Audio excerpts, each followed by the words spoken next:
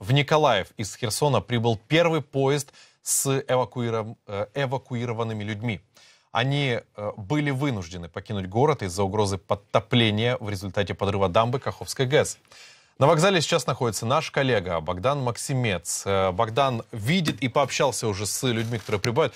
Богдан, вас приветствуем. Передаем вам слово от вас все подробности. Конечно же, о ситуации расскажите, о настроениях, что удалось узнать от людей.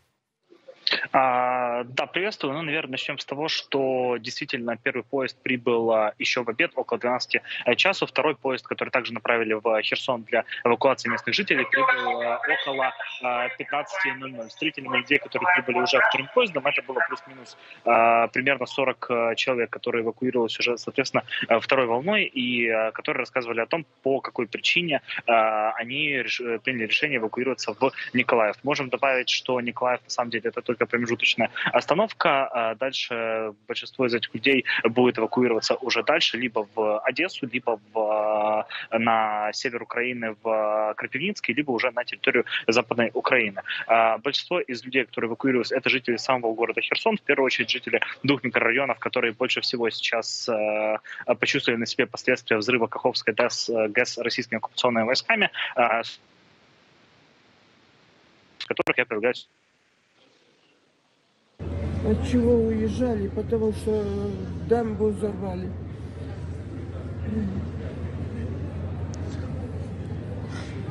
Просили все уехать.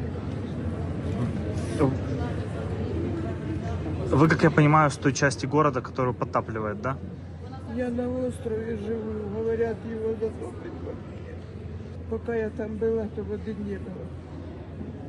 Почему решили эвакуироваться? Потому что угроза подтопления? Да. Здесь как встретили?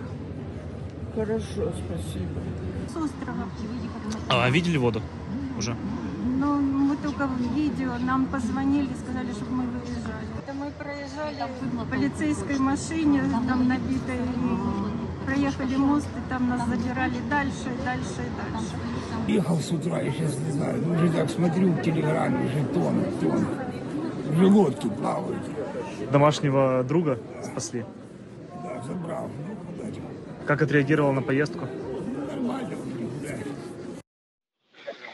А, видели мы э, большое количество людей, которые выехали именно с тех частей Херсона, которые уже сейчас э, остаются потоплены. Это в первую очередь корабельный микрорайон и так называемый микрорайон Остров. А также хочется добавить, что в большинстве своем люди приезжали из э, минимальным набором вещей. А если говорить про этот набор, то это буквально там несколько сменных пар одежды и в первую очередь свои, свои домашние любимцы. Это собаки, коты. Также мы активно их наблюдали сейчас на железнодорожном вокзале города Николаев.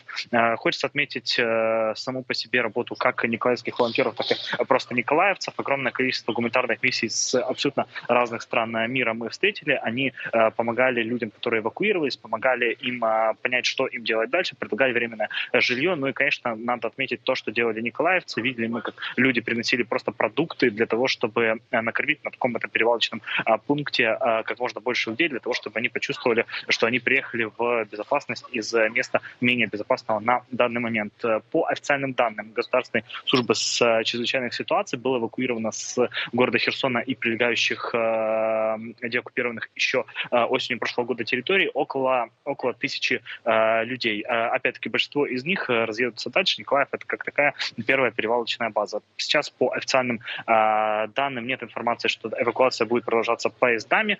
Также существует еще один путь эвакуации. Это эвакуация автобусными и рейсами и, соответственно, личным автотранспортом также активно работают э, волонтеры, которые приезжают либо на своих личных машинах, либо также покупают э, и где-то находят такие вот микроавтобусы, то, что вывести можно больше людей и как можно больше их вещей. Это число сейчас неизвестно, но я думаю, также скоро мы э, увидим общее количество людей, которые эвакуировались из э, территории Херсонской области, которая пострадала от подрыва Каховской ГЭС российскими оккупационными войсками. Поэтому продолжаем находиться в городе Николаеве, следить за развитием ситуации и передаю слово на студию. Спасибо.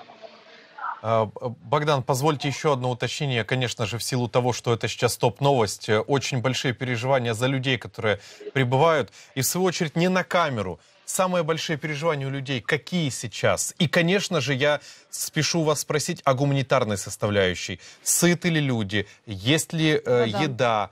Вот, знаете, такие жизненные, обычные вопросы. Это же стресс, лекарства, Да. понятное дело. Там же Конечно. пожилые люди, да.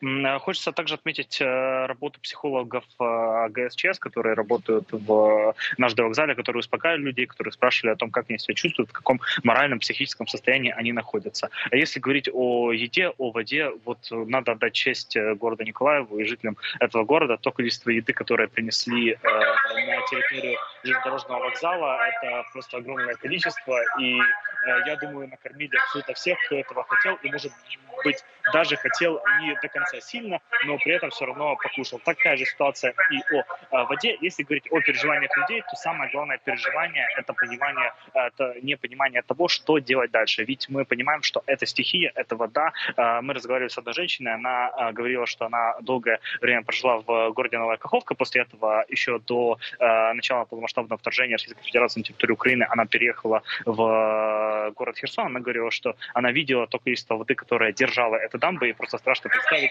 что будет с людьми, которые живут э, в низинах, на территориях, которые э, останутся подта- подтапливаемые. Также очень немаловажное переживание, опять-таки, это за тех людей, у которых остались родственники на левом берегу, на оккупированной временной, временно российской оккупационными войсками части. Там, к сожалению, ущерб намного больше. Я думаю, мы видели те шокирующие э, видео с э, города Новая Каховка, где и Дом культуры, и городской совет, и э, когда-то очень хороший стадион э, ФК «Энергия» полностью э, затоплены. Э, об этом очень сильно переживают. Говорят, что в отличие от э, законной власти, власть оккупационная либо не дает эвакуироваться вообще, либо максимально преуменьшает э, все последствия. И понятное дело, что никто их там встречать не будет так, как здесь. Поэтому своих родственниках люди очень сильно переживают и также много об этом думают. Богдан, огромное вам спасибо. Пожалуйста, берегите себя и, конечно же, ждем от вас последней информации, материалов касательно того, вдруг какая-то помощь нужна этим людям. Э, Ну и просто держите нас в курсе. Богдан Максимец, напомню, наш коллега был с нами на прямой связи.